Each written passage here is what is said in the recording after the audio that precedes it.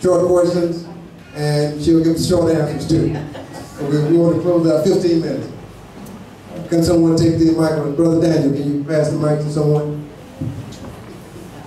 Okay. Okay, I'll close. Thank you. Okay, then.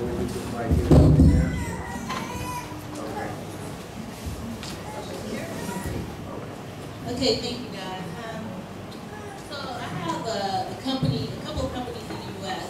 they're all online, but I'm looking for suppliers, right? So I need suppliers like shea butter, oils, cocoa butter, things of that nature. And I'm just wondering, because I can't find the data, is it cost effective for me to partner with a factory here to get those items? You know, does it make economic sense to do that? And how much would it cost to actually get that shipped to me in the States? And also, the other thing I'm thinking about is once I do repatriate, is to, is to do my company here. So I would still like to have a relationship built with, you know, the people here as far as getting sourcing all of those items and continue to make my products here in this country. So finding like my bottles and things like that that I can get in the States, like how do I find those things here? Where are those resources and what kind of database or information is available for us who have businesses that want to kind of bring them here? Okay, excellent question. I can answer the part on shipping, because I'm currently shipping, exporting Moringa. Um, Delta Airlines uh, to the States has a, a great program. Um, they can allow you to um, ship from here directly to the U.S. COD. Okay, COD. Uh, um, let's say, well, if you want to ship 100 pounds of um, shea butter, roughly estimated about four, three to four hundred dollars for 100 pounds. And um, we do the clearing here. Our company is registered at the airport. Um, we go through the drug test. You know, we have our people that give us the, the approval to put it on Delta, and then our agent help us to clear it within a couple of hours. We have the ship out on the Delta, and you can either pay cash, which is a little cheaper, or you can receive it COD anywhere in the U.S. within two or three days. In terms of suppliers, Dr. Sharita maybe could give you more details, but product, um, containers, you can get state-of-the-art containers here for shea butter, uh, bottles, state-of-the-art, like you can see our brother using here. Um, you can get those at factories. Your brother Foster has some nice product uh, in the containers that he gets here. So the containers are here, state-of-the-art. They're actually manufactured here or are they? Yeah, the factories are here. We have factories here.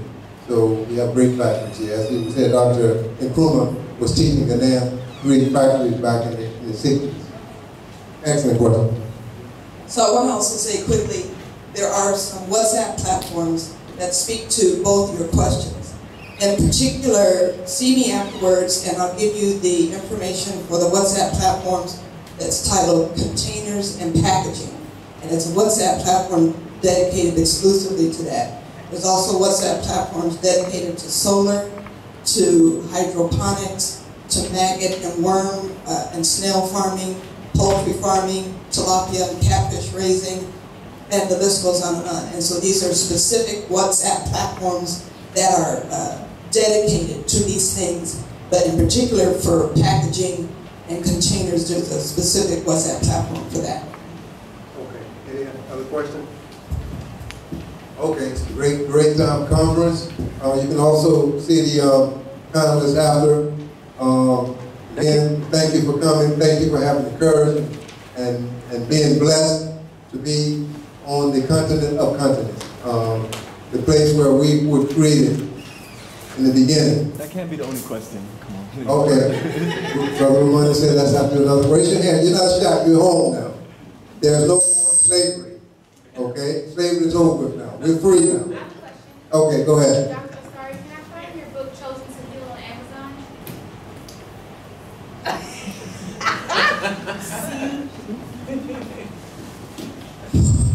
Are you sold out? Are you sold out? They quite already booked up. Yes, um, books are almost sold out now. Okay. We are sure to put it on Amazon, but you may be able to get a copy before you go. Okay. And who would I get the copy from? I'll give you my contact. Okay. Okay, great. One is Brother Lumani say, you know, don't be shy. Go ahead. Uh, I have a question concerning the organic gardening. Um, Okay. I, my wife and I, we've been doing organic gardening in the States for a while, but the problem we face there, I don't think we face here, but the problem is in America, um, because all of the insects are starving to death, because the food source there is so bad, that when you grow organic, I mean, they just eat it up because they're finally getting good food. And I was wondering here, uh, do you have a problem with the pests eating the organic foods? And if so, what types of products can I use that are organically based? Uh, we have uh, uh, storage bags in which we um, store this rice when we are sending it outside. This can be purchased anywhere you know, in uh, at the agri offices in Ghana. And then sometimes I know what I've been sending stays even at the port for about three months for it sets off. But it gets there still. So I don't know if the doctors can say something about how to control the insects. Um, as an organic farmer also, what I use, um, is the neem, uh, the neem oil. Okay, the neem oil with some neem powder, um, and some cayenne pepper to really knock them out with you know, one, two, one, two punch. Uh, it keeps them at bay, but like you say, they are hungry and they are greedy for good food. And they attack the organic, they take, they, they attack our kale, our collards, our, all the time. And one of the things that we're doing now, we're doing a greenhouse. We just completed a nice greenhouse to keep them at bay also. And this greenhouse is in a shaded area and keep them from jumping over, so we attack them that way. But the neem oil is proven to be very effective, very effective. With organic farming, uh, you are doing the spiritual work. I'm coming from the spiritual perspective. Any good intention for our people that have suffered so many years ago, you have a spiritual energy behind you. I know that apart from the neem trees and the neem oil Brother David is using, he is also having the energy of putting out there to our people the best of food. And because of that, because of that, spiritually, you will not lose. There will be an energy just right. I just want to add quickly to that, some of the uh, agricultural seminars that we've been doing as well, monocropping is part of the problem. That when you have one crop, you're essentially waving a dinner flag and ringing a dinner bell. And so this has been something that the, there has been a shift in as well. And people are also using combinations of uh, the locally made black soap, using uh, liquid, the water from the black soap that's made, that's put on it, as well as the neem seed the neem seed itself that's being crushed. I found great success with mulching with the neem leaves and found that that was really helpful in addition to mixing up the produce and not just growing a monocrop. So those are some of the things also that we found helpful. Okay, thank you very much. Okay, family, so uh, again, we want to give yourself a round of applause for, for being here. Yeah, I have one, one more if you don't mind. Go ahead, my brother. Uh, and that is uh, bee farming uh, Okay. for honey. Okay. Because uh, um, there's, a- especially in the States, I mean, honey just costs a fortune because they're killing all the bees. Right. So here, is there a need for that, to, to have bee, bee farms and producing honey? Yeah, they're here. Okay. um, you know, uh, as a bee farmer, you know that you cannot do successful pollination in the absence of water, right? So there are people producing honey in central Accra, Kumasi, and other areas which may be contaminated because if bees don't get water, they can go to the urinal. Yes. So that is where we indigenous farmers come in. Um, bee farming is needed really here seriously because we're telling people to get off the processed sugar.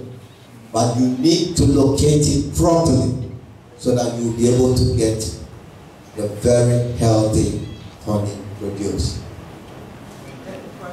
Very good. Okay, one, one, okay. Good evening. I was interested in the uh, neem oil. Is there a different grade neem that you use for plants as opposed to that that um, humans use? I've heard there might be a different grade or different type of neem that's used for plants. Is it true or not?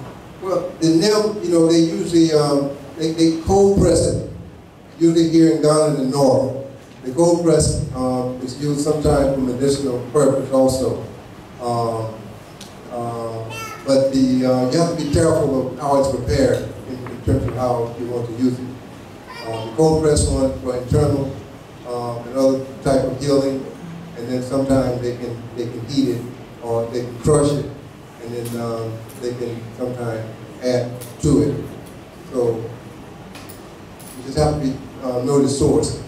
And we have a great source from Tamale for, for the neem oil that's cold pressed. Any other questions? Yep. Go ahead. So, thanks, Dr. Sharita. Yes. All right, so you mentioned that the first step when we return or when we think about returning should be healing. Since you're a natural kind of doctor, what is the first step you think in that healing process that we should take?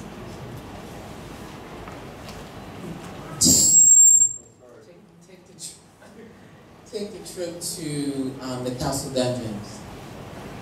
Bring your ancestors back home. Make a place. Make a place for the ancestors. Okay, I turned it off. Oh, myself. All right.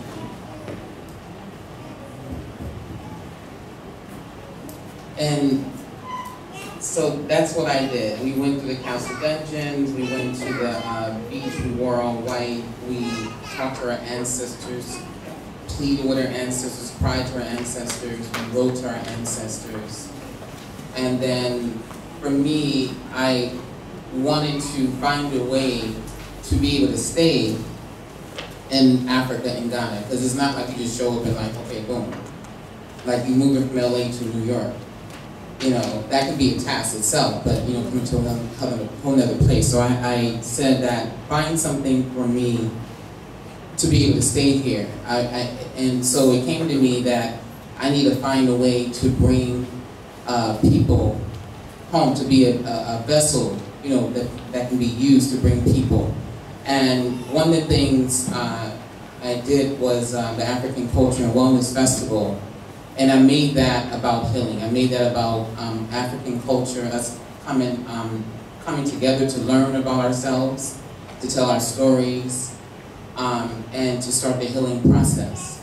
So, um, so that's the, the first step. Go through the castle dungeons, make your uh, promises and pledges to your um, ancestors, and ask them to guide you every single step of the way. It's no small thing. I didn't, I knew it and, and um, it can be articulated to me, but for me to understand it in, inside is, it happened when I came here and when I was told to do that, something different, you know, came over me. And I really, really know my ancestors are moving with me all the time. And that's what's going to guide you to every other step. Because once you do that, that's the thing. Like it's when I got that paper and answers like that's not about you. This is about us. You know, coming back home and, and being with our brothers and sisters. And then, of course, make the make these relationships. You know, with our. Um, I mean, really get some really good friends. You know, here on the grounds. You know, make a, a become part of a family. You know, and the, and the family will find you, or you find the family. It'll, it'll just be natural. I have family that love me so much. I, I, I'm like, you know, I got my citizenship, but I think I want you guys to adopt me and I want to go through the whole everything. I want to be in family meetings, you know, uh, all the different things that go along, you know, with it, you know. So, um, yeah, I, I, that that's the, the, first, you know, few steps anyway.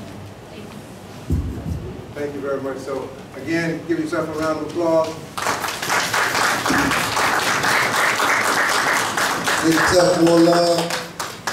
And I would say healing. Remember that you don't have to die, okay? Uh, and this is no joke, okay? We can live forever. So we have been taught to die and go to heaven or go to hell. We don't have to do that, okay? We can strive to live on this earth until the one bright day when everything is manifested the way we're supposed to, to be living. So don't let them tell you that you got to die at 70 or 60 or 80. Uh, no, no, no, no. You just make it to 100 and declare that you're going to get to 101. Take it like that. Take that out of your mind, okay? Because in the beginning there was no death. So again, give yourself a round of applause. We'd like to ask Dr. Sargent to close this section out. Um, a minute of silence, and then we're going to go into the network.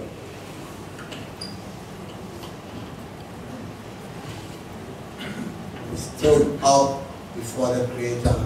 Let's stand up again.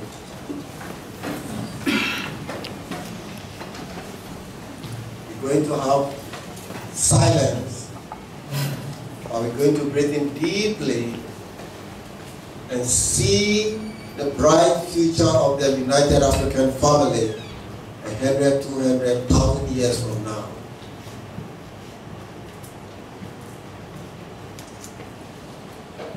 now? Two minutes of